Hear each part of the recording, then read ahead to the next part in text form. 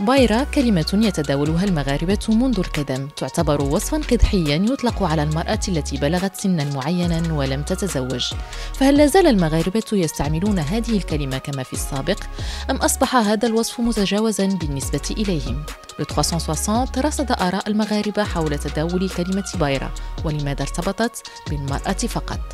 كلمة بايرة داكشي كيبقى بالنسبة داكشي كيبقى أمر الله حيت بالنسبة للزواج يكون الزواج ممكن يجي في أي وقيته البنت ممكن يوصلها رزقها في أي وقت. غير الواحد ما يقنطش من الرحمة ديال الله وصافي.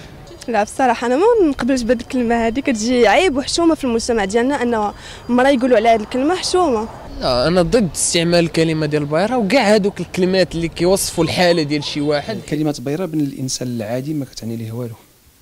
ولكن اللي تربى على أساس أنه في مجتمع ذكوري كنهيئوه باش يتزوج هنا كيولي عندها اثر اللي كيزيد طين بالله ملي كتبنى البنت هذه الفكرة وكتولي كتآمن بها وكتلاقى مع صحاباتها ولا بنات خالتها ولا بنات عمتها ونفس الخطاب.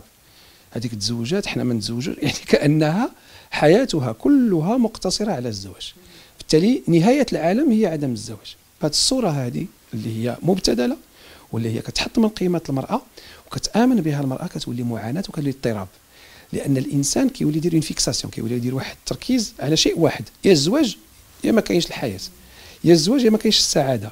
الخطير في المسألة أن آه، ملي كتكون إنسانة مثقفة وكيكون عندها دور اجتماعي وكتأمن مثل هذه الأفكار هنا كيولي العواقب النفسية. وكم من حالات كتعرض نفسها على المتخصص النفسي لهذا السبب. أنها نفسيا تصاب بالكآبة une dépression mais vraiment vraiment très aiguë لسبب بسيط. لأنها ترفض اجتماعيا لأن كاين واحد الجملة كتردد اللي شافها.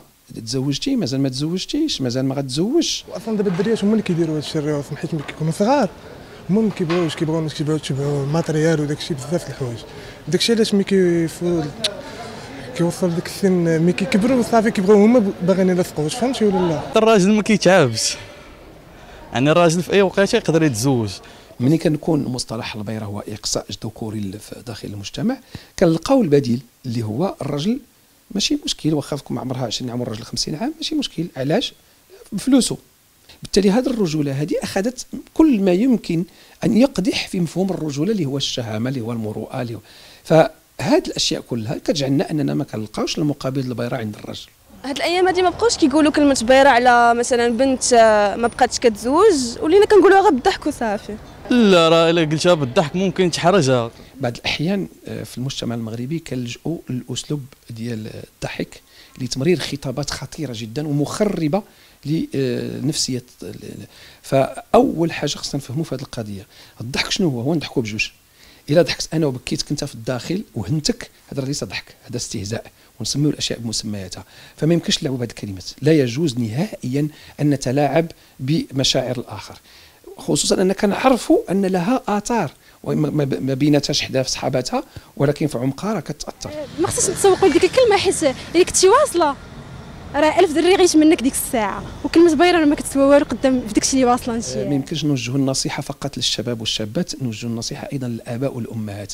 كونوا ولادكم وبناتكم باش يكونوا مواطن صالح وكيعطي للوطن ماشي تكونوا على أساس ينتبه الحجر المنظومه التعليمية لا زالت تكرس هذه الأمور. آه، بمعنى أنه بعض المقررات من خلال الصور اللي كدير من خلال بعض النصوص اللي كدير كتزكي أن البنت مصيرها الزواج. آه، حفلة الأعراس مثلا في المدارس المغربية. حتى هي كتزكى بهذه الطريقة هذه. بل لهذا لابد أن نزيل هذه الهالة ونجعل العرس هو فرحة للذات وليس فرحة بالزواج. ما عمرنا كنفرحوا بالزواج كنفرحوا براسنا. حنا عندنا الآية مقلوبة.